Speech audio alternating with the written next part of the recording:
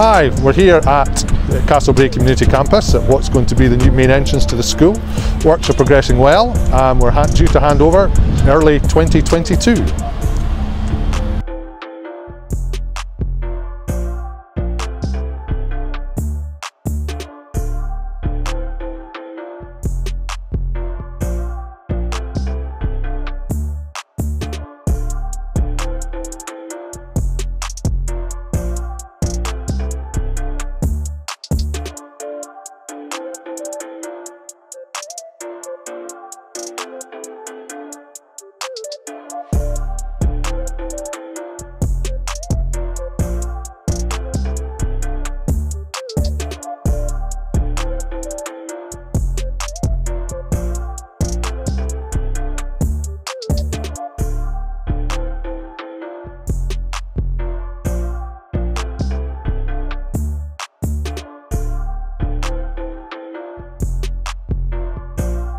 As you can see here, we've got quite a very close proximity to the East Office down there. So this is all to be part of the school being part of the community.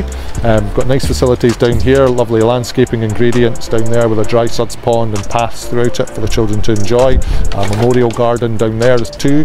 Um, and then right all the way down to the north where we have the 3G pitch for the kids to use down there.